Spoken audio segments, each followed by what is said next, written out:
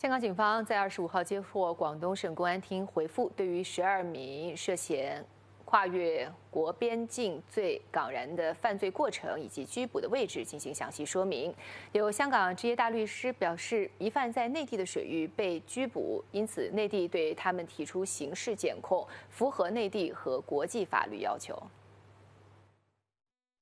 广东省公安厅在回复中表示，涉嫌偷渡的快艇在上个月二十三号早上七点左右由香港布袋澳开出，并在约半个小时后从香港东南面水域离开香港水域界限，进入内地水域，并具体指出快艇被截获时的地理坐标位置在香港水域界限以外东南方约二十六海里。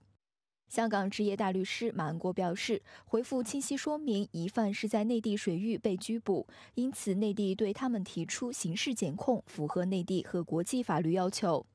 到底呢十二个逃犯到底是否係香港水域被拘捕啊，定係喺公海被拘捕啊，定係喺邊一個位置被拘捕呢？呢個係直接影響到呢個審判權行使嘅。咁呢十二個逃犯呢，因為佢被捕嘅時候係喺誒應該係南中國海，呢個南中國海係中國嘅管轄範圍，係中華人民共和國嘅水域範圍，所以中華人民共和國嘅刑事法律，包括佢嘅跨境誒非法越境罪呢啲咁嘅誒罪行呢，都可以適用於呢個十二個逃犯，所以中國呢一次嘅檢控係符合誒中國嘅法律。同埋係符合誒國際法律嘅要求。回复中还提到，深圳市公安局盐田分局仍就案件进行调查，稍后将依据《中华人民共和国刑法》《中华人民共和国刑事诉讼法》报深圳市盐田区人民检察院呈请对十二名疑犯批准逮捕。马恩国表示，虽然疑犯中有人在香港涉嫌干犯香港国安法等罪行，但必须要在内地完成司法程序才能回到香港。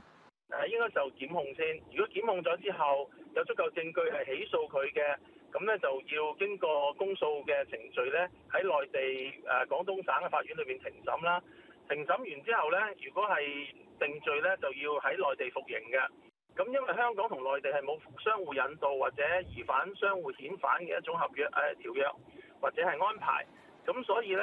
誒內地咧係會喺呢個十二個誒罪犯。完完成咗佢服刑嘅呢一個時間之後呢，就會將呢十二個疑犯呢驅逐出境。呢十二個誒罪犯呢係會被遞解出境，從呢個誒香誒深圳嘅口岸呢遞解翻嚟香港嘅。马安国还表示，香港和内地属于不同的司法管辖区，因此他认同特区政府多次提到的需尊重内地刑事司法管辖权的说法。凤凰卫视金小飞香港报道。